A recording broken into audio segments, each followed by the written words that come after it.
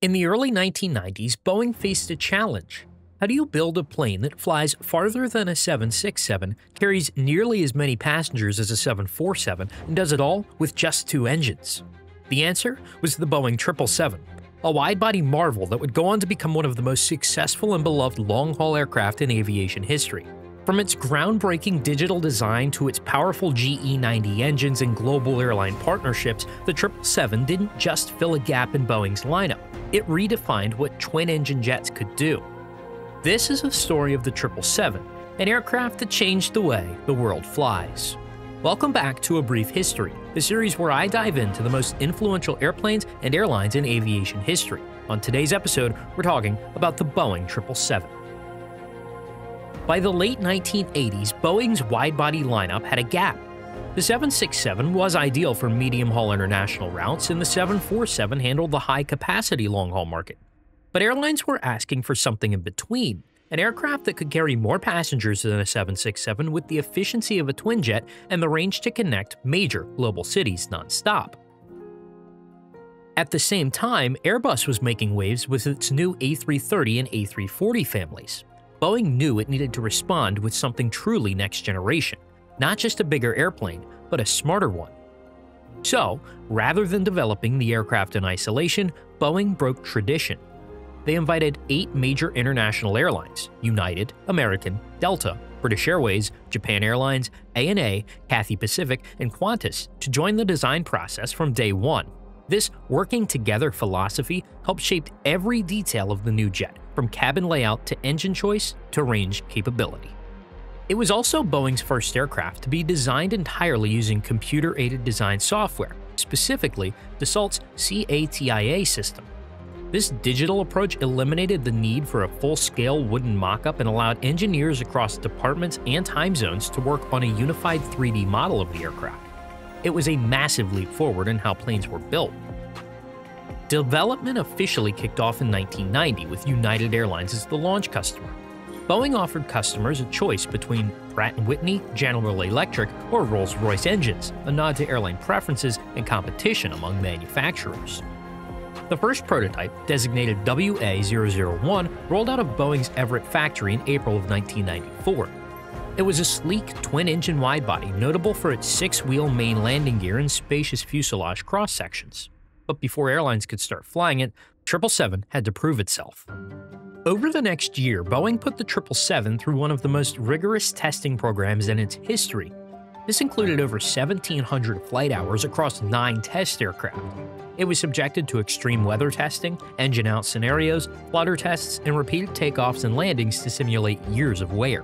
One of the most significant milestones came with the FAA granting the 777 ETOPS 180 certification right out of the gate, meaning it could operate routes up to 180 minutes away from the nearest diversion airport. This was unprecedented for a brand new aircraft, let alone a twin jet, and it paved the way for the 777 to replace older tri-jets like the DC 10 and L 1011 on long haul routes. When the 777 entered commercial service with United Airlines in June of 1995, it marked more than just the debut of a new aircraft. It signaled the beginning of a new era of long haul aviation. Passengers were immediately impressed. The 777 offered a noticeably quieter cabin, wider seats in economy, larger overhead bins, and an advanced in flight entertainment system. It was also the first commercial aircraft to be certified with a fly by wire control system from Boeing, offering smoother handling and more efficient autopilot integration. For pilots, it featured a modern glass cockpit designed to align with the Boeing 747-400, minimizing training time for existing Boeing crews. Airlines were quick to take notice of its performance.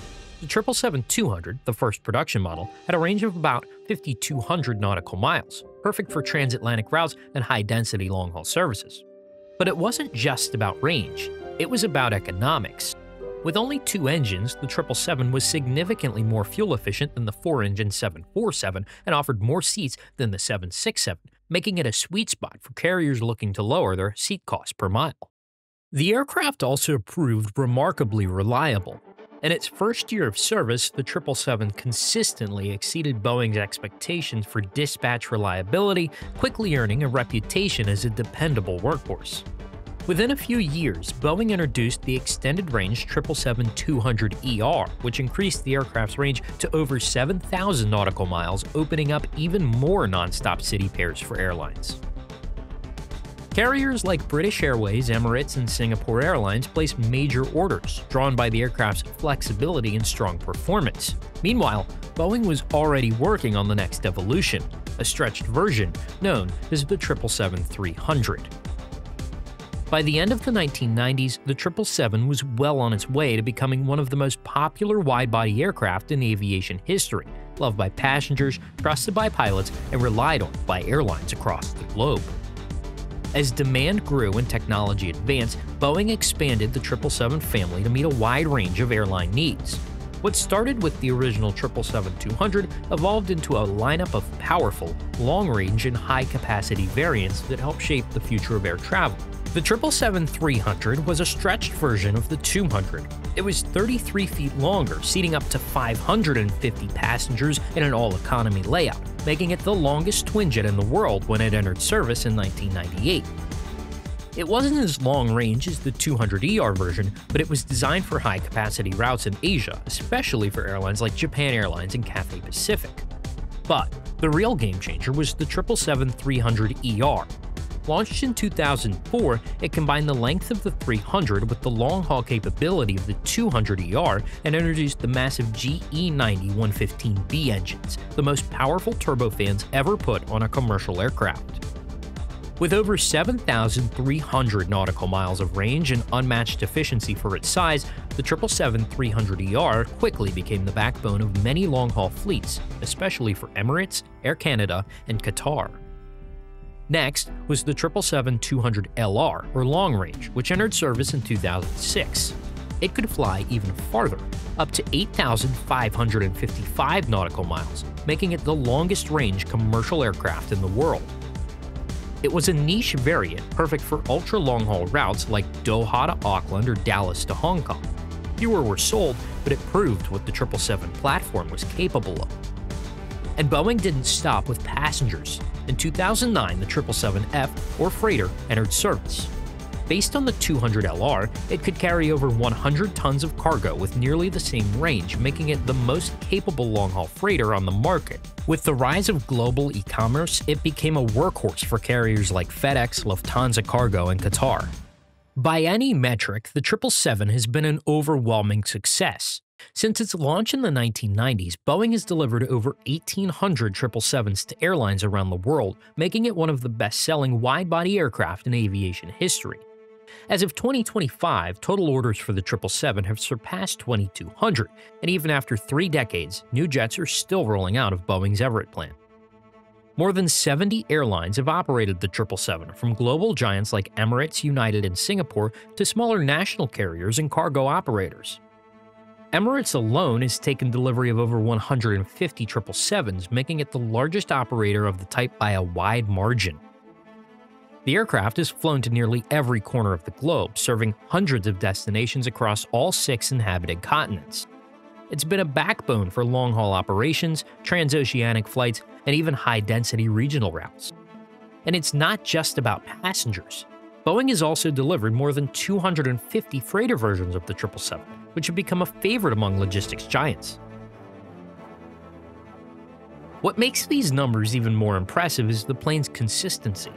The 777 has maintained an industry-leading dispatch reliability rate of over 99.5%, earning the trust of airlines and flight crews alike.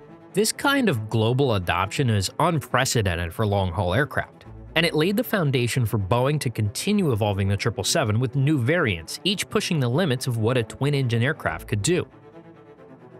In 2013, Boeing officially launched the 777X program, a bold attempt to extend the life of the 777 family and keep pace with growing competition from the Airbus A350.